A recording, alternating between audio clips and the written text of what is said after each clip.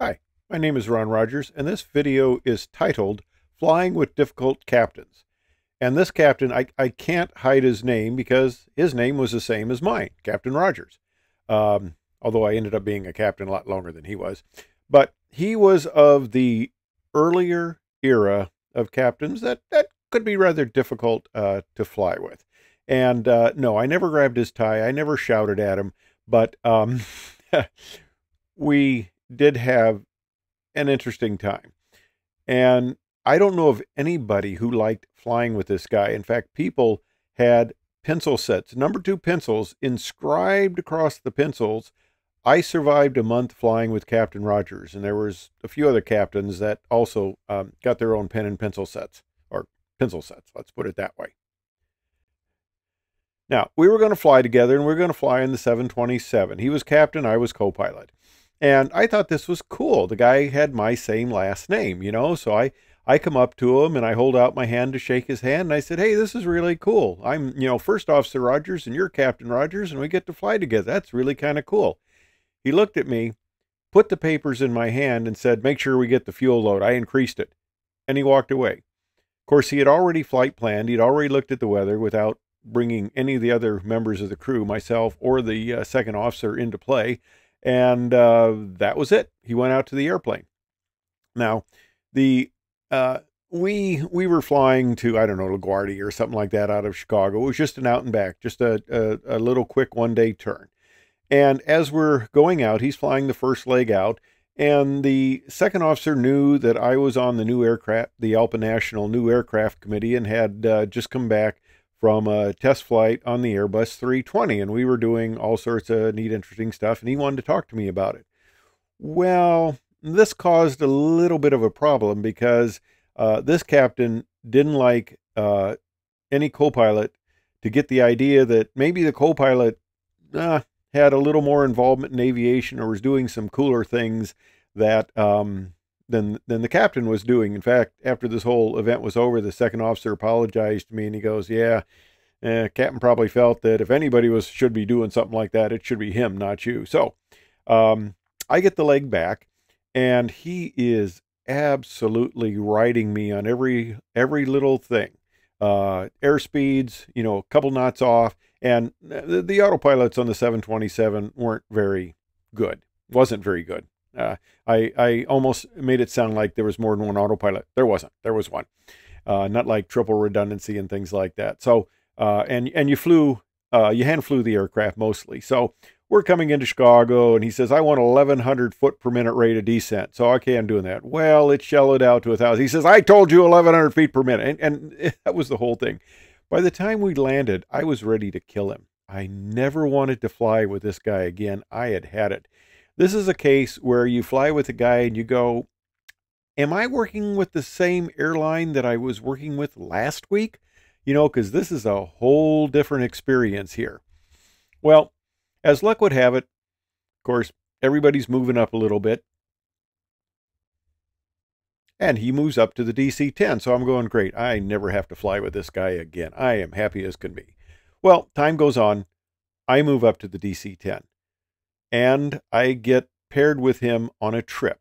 It's a trip from Chicago to Detroit and back. Slightly less than an hour, very short trip, but I'm thinking, okay, I got to figure out how to work with this guy. This guy had a super ego, a god complex, and um, I'm thinking, okay, he's a Marine. Now, not an ex-Marine. He'll he'll explain in great detail that there are no ex-Marines. Once you're a Marine, you're a Marine. And I mean, what you go through, okay, I can see it. You know, that's uh, if you go through that, it's a bad badge of honor. Not problem. I was a no problem. I was a Air Force veteran, but that uh, that's not a Marine pilot. You know. But anyway, I figure I got to figure out how to relate to this guy. So first of all, he doesn't want co-pilots to think that they have, you know, any sort of knowledge of flying or anything like that. So I developed kind of a two-step plan. And the first thing I did was I when I approached him, I referred to him as Sir Captain Sir. Now you're probably going, you got to be kidding, right? And most captains would have looked at me and said, "My name's Jack," you know. But that was fine with him. And the entire time that we flew that short little one day trip, I had addressed him as Sir Captain Sir. And the other thing I said to him, although I'd been on the DC 10 for eight months, and I think by then I had a pretty good idea what I was doing, I said, uh, Sir, Captain, Sir, I am new on this airplane. Any tips you could give me on flying, any help you would give me, I would really appreciate it. You know, it, it just, it, it would help me so much. So I'm fanning his ego there. And he looks at me and says, Oh, we're all new sometime. Okay. So we get on the trip. He flies the leg to Cleveland. I'm flying back. And uh, no problems. Everything's fine. Uh, he doesn't say a thing to me. He doesn't criticize any of the flying I'm doing. We come in and land and uh, get off the airplane. And the second officer uh, comes up to me and after uh, uh, Sir Captain Sir has moved away and he says, Man, I haven't seen him be nice to a co pilot ever. I mean, he just, he was nice to you. And uh, that was amazing. Well, okay, we're done flying and and I never flew with him again. But that's not where the story ends. Now, at the time, typically you flew with the same crew the entire month. So if you had a good experience, that was great. If you had a bad experience, well, it was a long month. I come into operations, and the flight planning desk uh, was at the other end of the room. And as I walk in, Captain Rogers turns to me and goes, Ron, how you doing? And virtually every co pilot in the room looks at me and their jaws drop. And I go, Captain, sir, I'm doing fine. Uh, I left off the first sir there, uh, but I'm doing fine. So um, one of my friends, Bob, comes up to me and he says, He likes you? And I go, Well, we got along okay. And he says, Okay, you got to tell me. I got next month with him and I, I'm dreading it. He says, What did you do? And I said, Okay, Bob, first thing you do is you address him as Sir, Captain, Sir. Bob goes, I'm serious here, Ron. What, how do I do this? And I go, I am serious. You address him as Sir, Captain, Sir. Tell him you're a new co pilot and, you know, you'd love any instruction he can give you and stuff like that. And Bob says, You better not be putting me on. I go, I am not. So he comes back to me a little bit later. He's flown a few legs with him and he says, My God, that worked. And uh, he had he had a good month with him.